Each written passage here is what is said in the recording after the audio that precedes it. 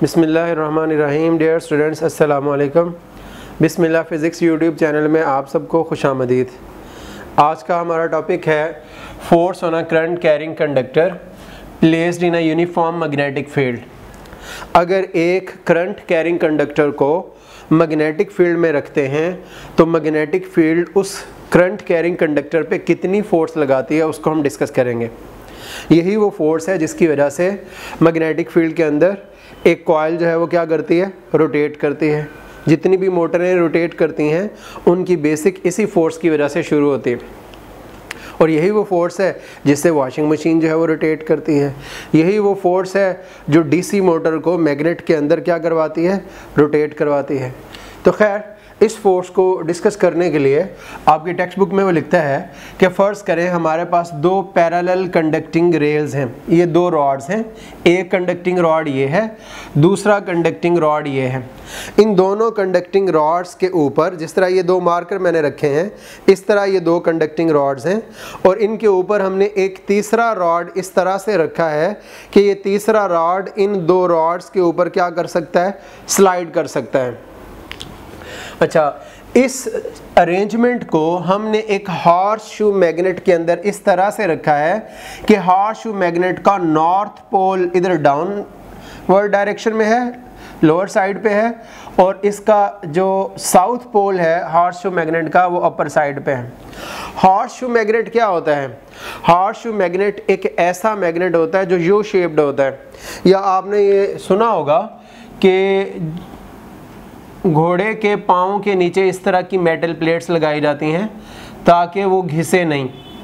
और इस शेप का जो मैग्नेट होता है, उसको हम हॉर्स शू मैग्नेट कहते हैं। ये इसका नॉर्थ पोल है और ये इसका साउथ पोल है। तो वो कह रहा है, ये जो कंडक्टिंग रॉड्स हैं ये दो, इनको इस तरह हॉर्स शू मैग्नेट में रखा है कि इसका lower pole north north pole जो है, वो लोअर साइड पे और साउथ पोल अपर साइड पे मैग्नेटिक फ़ील्ड जो है, वो नॉर्थ पोल से मैग्नेटिक फ़ील्ड लाइन शुरू होती हैं और किस तरफ़ जाती हैं? साउथ पोल की तरफ़। जिस तरह यहाँ पर अगर मैं शो करूँ तो ये मैग्नेटिक फ़ील्ड लाइंस इस तरह होंगी, नॉर्थ पोल से साउथ पोल की तरफ़ होंगे। अच्छा ये बैटरी हमने यहाँ पर अटैच की है। बैटरी का ये पॉजिटिव टर्मिनल है, ये नेगेटिव टर्मिनल है। करंट बैटरी के पॉजिटिव टर्मिनल से फ्लो करता हुआ आता है। इस कंडक्टिंग रॉड में से गुजरता है, क्योंकि ये दोनों के साथ इन कॉन्टैक्ट है और इधर से करंट फ्लो करके बैटरी के नेगेटिव टर्मिनल की तरफ़ चला जाता है। जैसे ही करंट इस रॉड में से गुजरता है, इस रॉड के ऊपर एक फोर्स लगती है, जो राइट वर्ड डायरेक्शन में होती है। ये फोर्स की डायरेक्शन है। इस फोर्स की डायरेक्शन को हम यहाँ पर आज कम अज़ कम तीन तरह से जो है डिस्कस करेंगे, इसकी डायरेक्शन के इस तरफ़ क्यों है। एक राइट हैंड रूल है, उसमें ये जो हमारा दाएँ हाथ का थम है, ये डायरेक्शन रिप्रेजेंट करता है करंट की। ये थम करंट की डायरेक्शन को रिप्रेजेंट करता है, या पॉजिटिव चार्जेस की वेलोसिटी को रिप्रेजेंट करता है उसकी डायरेक्शन को। और ये जो स्ट्रेट फिंगर्स हैं, ये जो सीधी उंगलियाँ हैं, ये मैग्नेटिक फ़ील्ड को रिप्रेजेंट करती हैं एक्सटर्नल मैग्नेटिक फ़ील्ड और ये जो पाम के परपेंडिकुलर है, ये फोर्स लगती है। तो मैं यहाँ पर ये अरेंजमेंट दोबारा शो करता हूँ। यहाँ पर फिज़िकली इस तरह दो रॉड पड़े हैं। इन रॉड्स के ऊपर तीसरा रॉड ऐसे पैरेलल पड़ा है। ये आपको नज़र आ रहा होगा। ये कैमरे में देखेंगे ज़रा, नज़र आ रहा है ये? ये सिचुएशन नज़र आ रही है? अच्छा अब दो रॉड कंडक्टिंग रॉड्स होंगे। इनके ऊपर तीसरा रॉड इस तरह बड़ा होगा। और जो मैग्नेटिक फ़ील्ड लाइंस हैं वो magnetic field lines vertically upward हैं, जिस तरफ़ ये बॉल पेंट शो कर रही है, इस तरफ़। अब राइट हैंड रूल कैसे लगाएँगे? करंट इस तरफ़ को जा रहा है। करंट की डायरेक्शन ये मैग्नेटिक फ़ील्ड ये बॉल पेंट शो कर रही है, इसकी डायरेक्शन अपवर्ड है।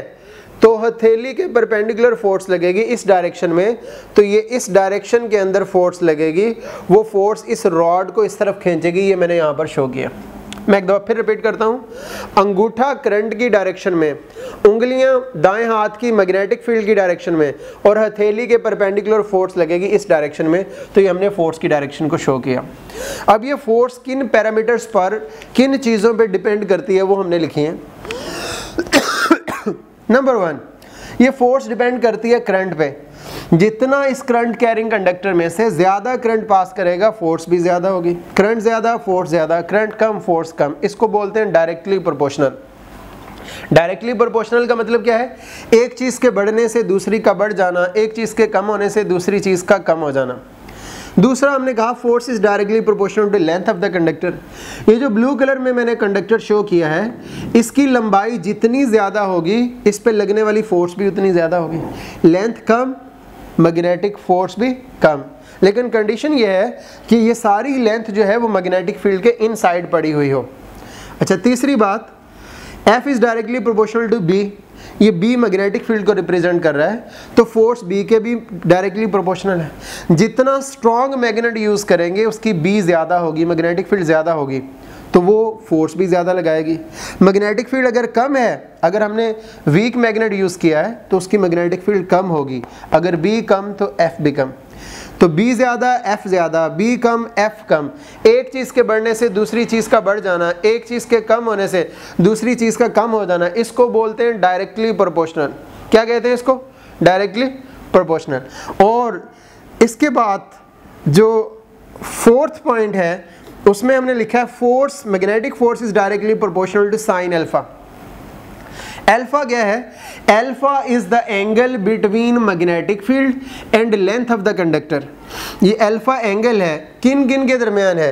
ये यहाँ पर मैंने लिखा है कि अल्फ़ा एंगल है या ये मैंने लिखा है where alpha is the angle between L and magnetic field B L क्या चीज़ है? इस कंडक्टर की लेंथ है। आप लोग कहेंगे, लेंथ तो एक स्केलर क्वांटिटी है। भाई, ये शॉर्टेस्ट लेंथ है इन रॉड्स के दरमियान। तो ये डिस्प्लेसमेंट के तौर पे एक्ट कर रही है। Shortest distance between two points is called displacement तो ये रॉड की लेंथ यहाँ पर डिस्प्लेसमेंट के तौर पे एक्ट कर रही है। और इसकी डायरेक्शन किस तरफ़ देते हैं? जिस तरफ़ करंट फ्लो कर रहा होता है, इस एल की डायरेक्शन भी उसी तरफ़ देते हैं। तो अगर हम इसको डायरेक्शन के लिहाज से शो करें तो इसकी डायरेक्शन इस तरफ़ होगी, ये इस पॉइंट से इस पॉइंट की तरफ़ एल अब एल और ये ये हमारे पास एल की डायरेक्शन ये और बी ये है। इन दोनों के दरमियान बनने वाला एंगल कितना है? एल्फा है। इस कंडीशन में जो मैंने यहाँ पे ड्रॉ की है, ये एल्फा 90 डिग्री है। बहरहाल, मैं यहाँ पर ये बता रहा हूँ साइन एल्फा की वैल्यू ज़्यादा तो फोर्स ज़्यादा साइन एल्फा की वैल्यू कम तो फोर्स कम। अब ये फोर्स चार चीज़ों पे डिपेंड कर रही है। Current, length of the conductor, external magnetic field और साइन अल्फ़ा। हमने इन सारी इक्वेशंस को कंबाइन कर लिया। By combining equation one two three and four तो एफ़ इज़ प्रोपोर्शनल टू लिखा एक ही दफ़ा हमने प्रोपोर्शनल लिख दिया। इनको मल्टीप्लाई करके लिख दिया। आई एल बी और sine alpha. I L B sine alpha. Proportionality को ख़त्म करें तो हमारे पास कांस्टेंट आएगा। तो यही हमने लिखा K I L B sine alpha. Where K is constant of proportionality. K जो है वो कांस्टेंट ऑफ़ प्रोपोर्शनैलिटी है। इसकी वैल्यू कितनी है? उसके लिए हमने ये लिखा, सिस्टम इंटरनेशनल में फोर्स का यूनिट वन न्यूटन है। करंट का वन अम्पेयर लेंथ का यूनिट वन मीटर, और मैग्नेटिक फ़ील्ड का जो यूनिट है, वन टेस्ला है। और साइन अल्फ़ा की यूनिट वैल्यू वन होती है। यूनिट का मतलब ही होता है वन। और कितने डिग्री के ऊपर होती है? 90 डिग्रीज पे होती है। तो अगर ये सारी वैल्यूज़ वन वन हों तो इस इक्वेशन में हम के के अलावा बाकी सब जगहों पर एफ़ आई एल बी और साइन अल्फ़ा, इन सब जगहों पे वन लिखेंगे। तो ये लिखा मैंने। एफ़ की जगह पर भी यहाँ पर वन लिखा। इक्वेलिटी वैसे ही शो की के को वैसे ही शो किया। आई की जगह पर भी वन एल की जगह पर भी वन बी की जगह पर भी वन साइन अल्फ़ा की जगह पर भी वन ये सारे लिख दिए वन तो के की वैल्यू हमारे पास वन आ गई। तो अगर के की वैल्यू वन है तो इस जगह पर हम वन लिख देंगे। वन को जब इन सबसे मल्टीप्लाई करेंगे तो हमारे पास यही चीज़ आ जाएगी I L B sine alpha तो हमने कहा फोर्स की वैल्यू आ गई। F is equal to I L B sine alpha K को हमने नहीं लिखा क्योंकि उसकी वैल्यू वन हो गई है। अब ये तो हमारे पास फॉर्मूला आ गया। अब इस फॉर्मूले से हम दो चीज़ें यहाँ पर जो है वो डिफाइन करेंगे। एक है मैग्नेटिक इंडक्शन ये जो बी है, इसको मैग्नेटिक इंडक्शन भी कहते हैं, लिख लेंगे। इसको मैग्नेटिक इंडक्शन भी कहते हैं, इसको मैग्नेटिक फ़ील्ड स्ट्रेंथ भी कहते हैं, और इसको मैग्नेटिक फ्लक्स डेंसिटी भी कहते हैं। तीन नाम इस बी के यूज़ हुए हैं आपके इस चैप्टर में। तो आपने जहन में रखना है बी मैग्नेटिक इंडक्शन भी है, और ये मैग्नेटिक फ्लक्स डेंसिटी भी कहते हैं इसको। और इसके साथ इसको हम मैग्नेटिक फ़ील्ड स्ट्रेंथ भी कहते हैं। तो बी के ये तीन नाम यूज़ किए जाते हैं। बहरहाल, यहाँ पर हम मैग्नेटिक इंडक्शन बी को डिफाइन करेंगे।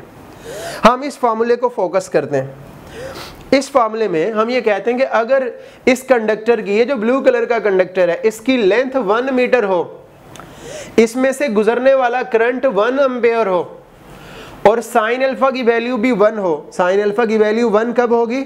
जब अल्फ़ा कितने डिग्रीज लेंगे? 90 डिग्रीज और फिर उसके साथ हमने कहा, इस इक्वेशन को ऐसे लिखेंगे। एफ़ वैसे ही लिखा। आई की जगह पर भी वन लिख दिया। लेंथ की जगह पर भी वन लिख दिया। बी को वैसे ही लिखा। साइन अल्फ़ा की जगह पर हमने वन लिख दिया। तो F is equal to B आ गया। अब डेफिनेशन सुनिएगा मैग्नेटिक इंडक्शन की।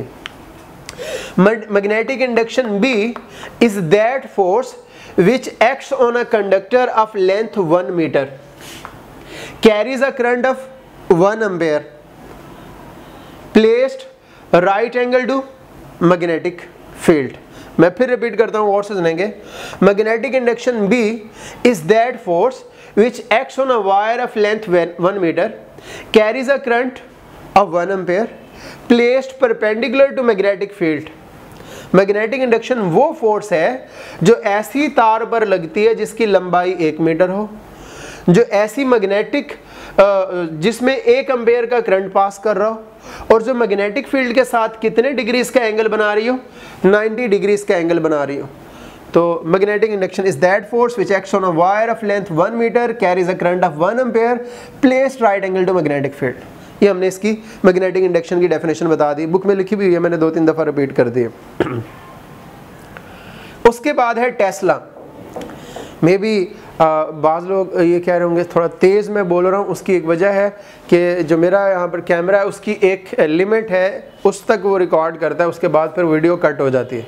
तो इसलिए हमारी कोशिश है लेक्चर उसी टाइम के अंदर जो है कंप्लीट हो जाए।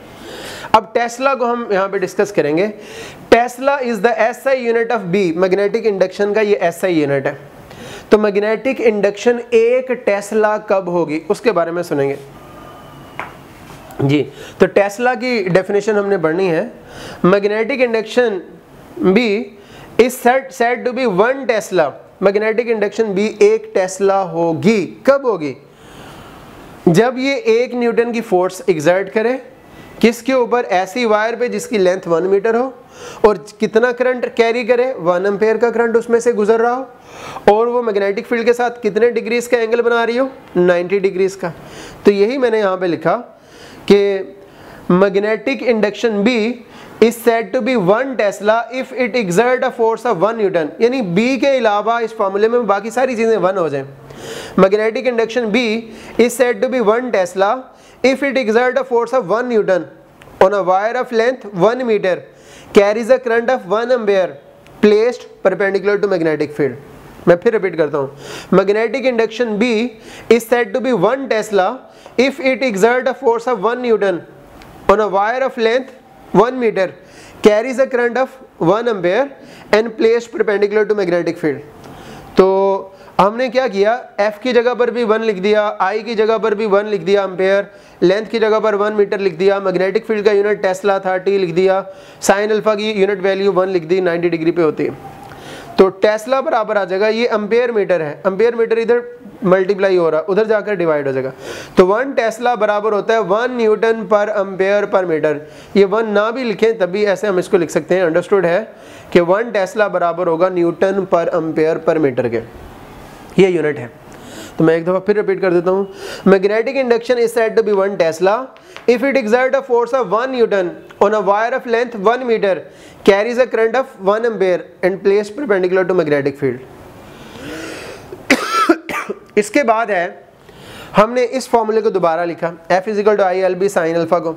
ये लिखा F is equal to I L B sine alpha अगर हम दोनों तरफ़ यूनिट वेक्टर से मल्टीप्लाई करें, से एन यूनिट वेक्टर से मल्टीप्लाई कर दिया, इधर भी इधर भी। तो इसको हम वेक्टर लिख सकते हैं। इसको वेक्टर एफ़ वेक्टर लिख सकते हैं। कैसे एफ़ वेक्टर लिख सकते हैं इसको? उसकी वजह यह है कि हमने यूनिट वेक्टर का फॉर्मूला पढ़ा था, वो बराबर होता है vector divided by its magnitude magnitude को इधर ले जाएँ अब magnitude multiplied by unit vector equals to vector तो यहाँ पर हमने कहा एफ़ की ये मैग्नीट्यूड है और उसके साथ यूनिट वेक्टर एन है। तो magnitude into unit vector is equal to F vector यहाँ पर मैग्नीट्यूड इंटू यूनिट वेक्टर बराबर था वेक्टर के। इसी तरह एफ़ जो है, इस एफ़ की मैग्नीट्यूड, ये उसका यूनिट वेक्टर ये मैग्नीट्यूड, ये उसकी डायरेक्शन इसको एफ़ वेक्टर के बराबर लिख सकते हैं, जिस तरह यहाँ पर एक वेक्टर के बराबर लिखा है।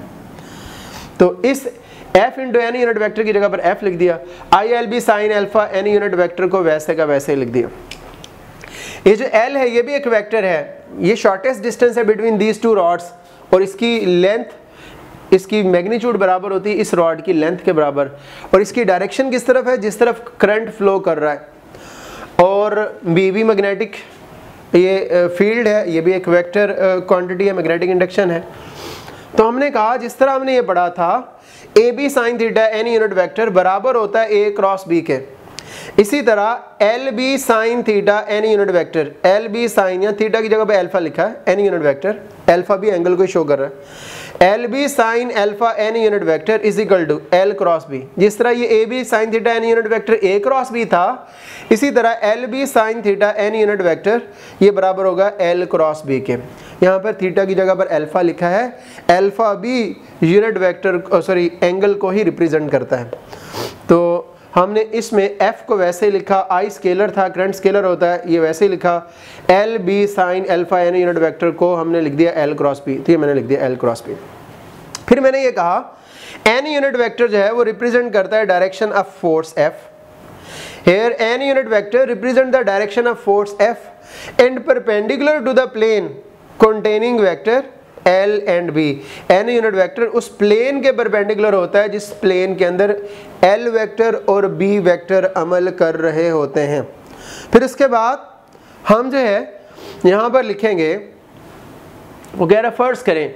इसी को हम यहाँ पर शो कर रहे हैं कि ये एक मैग्नेट है, ये उसका नॉर्थ पोल है, ये साउथ पोल है। नॉर्थ और साउथ पोल को सेपरेट नहीं दिखाया गया, ये इसी तरह है नॉर्थ और साउथ ये वाला हिस्सा जो है, इसका दिखाया नहीं गया यहाँ पर फिग के अंदर। तो ये नॉर्थ पोल है, ये साउथ पोल है। और मोनोपोल एग्जिस्ट नहीं करता, हम ये जहन में रखेंगे कि जो आइसोलेटेड पोल है अलहदा से नॉर्थ पोल या साउथ पोल वो एग्जिस्ट नहीं करता। अब यहाँ पे नॉर्थ और साउथ पोल इसके दरमियान में तार का एक ये टुकड़ा पड़ा है। इन, इस मैग्नेट की मैग्नेटिक फ़ील्ड लाइंस को ब्लू कलर से शो किया गया है। और ये तार का टुकड़ा बिल्कुल ऐसे है। अगर आप ये मार्कर को गौर से देखें, इस मार्कर का बिल्कुल जो है, ये वाला हिस्सा, अगर आपके बिल्कुल आप इसको 90 डिग्रीज पे देखेंगे तो आपको ये इसका क्रॉस सेक्शन नज़र आएगा, लेकिन आपको इसका जो बैक साइड पे जो इसकी लेंथ है, वो नज़र नहीं आएगी। तो सिर्फ़ क्रॉस सेक्शन। तो यहाँ पर भी हमने यही शो किया हुआ है। ये इसका इस वायर का हमने क्रॉस सेक्शन शो किया है। और ये याद रखिएगा, जब हम सर्कल लगाकर यहाँ पे डॉट लगाते हैं, इसका मतलब होता है आउटवर्ड, कि करंट आउटवर्ड फ्लो कर रहा है, या कोई चीज़ उसकी डायरेक्शन आउटवर्ड है। ये नज़र आ रही है? इसको इस तरफ़ घुमा दें थोड़ा सा।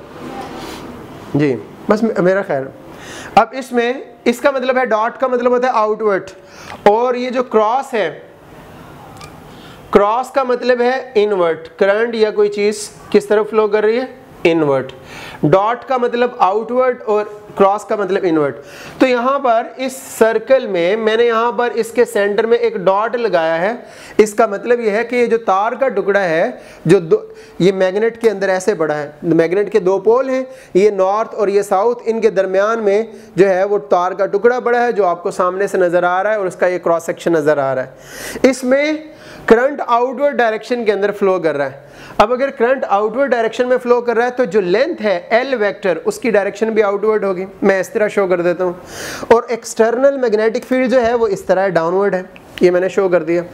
ये एल ये हमारे पास एल वेक्टर है और ये हमारे पास बी वेक्टर है। अब दाएँ हाथ का जो रूल है राइट हैंड रूल जो आपने सेकंड चैप्टर फ़र्स्ट ईयर में पढ़ा था, उसमें आपने ये पढ़ा था कि एल जो फ़र्स्ट वेक्टर है, ये हमारा एल है और सेकंड वेक्टर हमारा बी है।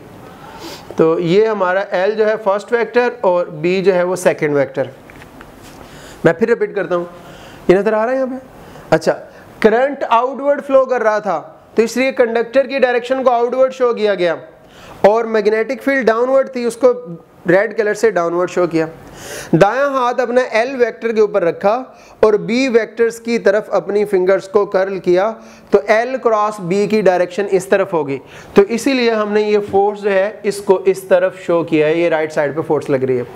अच्छा उसके साथ अब दूसरा तरीका इसकी डायरेक्शन को समझने का। वो रूल जो मैंने आपको, तीन राइट हैंड रूल यहाँ पर बता रहा हूँ। दूसरा ये है कि थम करंट की डायरेक्शन में ये सीधी उंगलियाँ मैग्नेटिक फ़ील्ड की डायरेक्शन में और मैग्नेटिक फोर्स ऐसे पाम के परपेंडिकुलर रखेगी। तो यहाँ पर देखिएगा करंट आउटवर्ड आ रहा है बाहर की तरफ़ इस कंडक्टर में। तार के इस टुकड़े में करंट आउटवर्ड फ्लो कर रहा है। मैग्नेटिक फ़ील्ड डाउनवर्ड फ्लो जो है, उसकी डायरेक्शन है। और मैग्नेटिक फोर्स की डायरेक्शन ये पाम के परपेंडिकुलर होगी, इस डायरेक्शन में लगेगी। ये मैंने यहाँ पर शो कर दी। दो तरह से मैंने डायरेक्शन बता दी। एक दफ़ा फिर रिपीट करता हूँ, गौर से सुने। ये एल ये बी एल पे अपना हाथ रखा बी की तरफ़ स्मॉलर एंगल पर फिंगर्स को कर्ल किया। एल क्रॉस बी की डायरेक्शन इस तरफ़ है, वो फोर्स के बराबर है। एल क्रॉस बी फोर्स के बराबर है तो फोर्स इस तरफ़ लगेगी। दूसरा रूल मैंने ये बताया कि थम जो है वो करंट की डायरेक्शन में राइट हैंड की जो फिंगर्स हैं वो डाउनवर्ड डायरेक्शन के अंदर, और मैग्नेटिक फोर्स जो लगेगी वो पाम के परपेंडिकुलर लगेगी, वो हमारे पास इस डायरेक्शन के अंदर मैग्नेटिक फोर्स लगेगी। अच्छा अब तीसरा रूल अब तीसरा रूल ये है, तीसरा रूल ये है करंट आउटवर्ड फ्लो कर रहा है। अब करंट अगर आउटवर्ड फ्लो कर रहा है तो पहले लेक्चर के अंदर हमने पढ़ा कि किसी स्ट्रेट वायर की मैग्नेटिक फ़ील्ड फाइंड करनी हो तो आप क्या करते हैं? Hold the wire in your right hand अपने दाएँ हाथ में वायर को पकड़ें। With erect thumb in the direction of current तो ये देखें, तार इस तरह है ये, तार ऐसे है। तो दाएँ हाथ का अंगूठा करंट की डायरेक्शन में कर्लिंग फिंगर जिसकी मैग्नेटिक फ़ील्ड को रिप्रेजेंट करेंगी। तो इस कंडक्टर की जो मैग्नेटिक फ़ील्ड है, वो ब्लैक कलर के सर्कल से शो की गई है, वो एंटी क्लॉकवाइज है। अब आप यहाँ पर देखिएगा ये ब्लू कलर की मैग्नेटिक फ़ील्ड इस मैग्नेट की है। और ये जो ब्लैक कलर के सर्कल्स मैग्नेटिक फ़ील्ड को शो कर रहे हैं, ये इस कंडक्टर के अंदर करंट के फ्लो की वजह से पैदा हो रही हैं। जो हमने फ़र्स्ट लेक्चर में पढ़ा था कि जब किसी कंडक्टर में से करंट पास करता है तो उसके सराउंडिंग के अंदर उसके इर्द गिर्द जो है वो मैग्नेटिक फ़ील्ड पैदा हो जाती है। अब देखें, इस लेफ़्ट साइड पे, मेरी लेफ़्ट साइड पे ये जो मैग्नेटिक फ़ील्ड लाइंस है कंडक्टर की ये डाउनवर्ड एक्ट कर रही है, नीचे की तरफ़ एक्ट कर रही है। ये ऐसे ना, ये डाउनवर्ड एक्ट कर रही है। ब्लैक कलर में शो किया। और ये ब्लू कलर की मैग्नेटिक फ़ील्ड लाइंस है मैग्नेट की, ये भी डाउनवर्ड है। तो यहाँ पर ये मैग्नेटिक फ़ील्ड लाइंस एक दूसरे के पैरेलल है, एक दूसरे के इफ़ेक्ट को रीइंफोर्स कर रही हैं, बढ़ा रही हैं। तो इसलिए मैग्नेटिक फ़ील्ड इधर स्ट्रांग है। और इस साइड पे, इस साइड पे अगर आप देखें तो यहाँ पर ये कंडक्टर की मैग्नेटिक फ़ील्ड कंडक्टर का करंट बाहर की तरफ़, और इसकी magnetic field lines anti clockwise ये देखें कंडक्टर में करंट ऐसे फ्लो कर रहा है, बाहर की तरफ़। तो करंट की डायरेक्शन में thumb curling finger magnetic field को रिप्रेजेंट करेंगी तो मैग्नेटिक फ़ील्ड जो है वो एंटी क्लॉकवाइज है। अब एंटी क्लॉकवाइज डायरेक्शन में हम ये कह रहे हैं कि ये फ़ील्ड लाइंस ब्लैक कलर की अपवर्ड शो हो रही हैं, और ये जो ब्लू कलर की मैग्नेटिक फ़ील्ड लाइंस हैं, वो डाउनवर्ड है। तो इस मैग्नेट की मैग्नेटिक फ़ील्ड और इस करंट कैरिंग कंडक्टर की मैग्नेटिक फ़ील्ड, दोनों एक दूसरे के अपोजिट हैं, एक दूसरे को कैंसिल कर देंगी, जिसकी वजह से यहाँ पर मैग्नेटिक फ़ील्ड क्या हो जाएगी? वीक हो जाएगी। तो हमेशा जो फोर्स लगती है, वो स्ट्रांग मैग्नेटिक फ़ील्ड से किस तरफ़ लगती है? वीक मैग्नेटिक फ़ील्ड की तरफ़ लगती है, इसलिए इस कंडक्टर के ऊपर इस तरफ़ फोर्स लगेगी और ये इस तरफ़ को स्लाइड करना शुरू कर देगा। और इसी तरह हम यहाँ पर भी देख सकते हैं यहाँ पर ये कंडक्टर ऐसे बड़ा है, हम ऐसे ड्रॉ नहीं कर सकते, इसलिए हमने इसको ऐसे शो किया। अब करंट की डायरेक्शन ये और मैग्नेटिक फ़ील्ड की डायरेक्शन ये तो इस कंडक्टर की जो मैग्नेटिक फ़ील्ड अपनी है, वो इस तरह से होगी। ये ऐसे, इस डायरेक्शन में। इस तरफ़ डाउनवर्ड इस तरफ़ अपवर्ड ये कंडक्टर की मैग्नेटिक फ़ील्ड अब कंडक्टर की मैग्नेटिक फ़ील्ड इस साइड पे ही देखिएगा। कंडक्टर की मैग्नेटिक फ़ील्ड डाउनवर्ड है करंट के फ्लो करने की वजह से। क्यों? कंडक्टर में करंट इधर जा रहा था, इस कंडक्टर की बात कर रहा हूँ अभी। कंडक्टर में करंट इधर जा रहा था और magnetic field hold the wire in your right hand with erect thumb in the direction of current then curling fingers will point out the direction of magnetic field तो यहाँ पर मैग्नेटिक फ़ील्ड की direction इस side पे downward है। तो इस side पे कंडक्टर की मैग्नेटिक फ़ील्ड डाउनवर्ड है और मैग्नेट की मैग्नेटिक फ़ील्ड अपवर्ड है। दोनों एक दूसरे को कैंसिल करेंगे, इधर फ़ील्ड वीक हो जाएगी। और इस साइड पे, इस साइड पे, इस साइड पे, मेरी वाली साइड पे कंडक्टर की मैग्नेटिक फ़ील्ड अप जी तो इस साइड पे जो मैग्नेटिक फ़ील्ड है वो डाउनवर्ड मैग्नेट की अपवर्ड कैंसिल करेंगी, वीक हो जाएगी। इस साइड पे करंट कैरिंग कंडक्टर की मैग्नेटिक फ़ील्ड भी अपवर्ड है, इस मैग्नेट की मैग्नेटिक फ़ील्ड भी अपवर्ड है। दोनों एक दूसरे को री करेंगी, जिसकी वजह से जो मैग्नेटिक फ़ील्ड है लेफ़्ट साइड पे स्ट्रांग और राइट right साइड पे वीक हो जाएगी। उसी वजह से फोर्स इस साइड पे लगेगी। तो आज के लिए इतना ही काफ़ी है। ये एक लेक्चर था, तीन लेक्चर में डिवाइड हो गया। अब इसको कोशिश करेंगे हम कि इकट्ठा हो जाए। अगर हो गया, ठीक नहीं तो पार्ट्स बनाकर जो मैं अपलोड कर दूँगा। अल्लाह हाफ़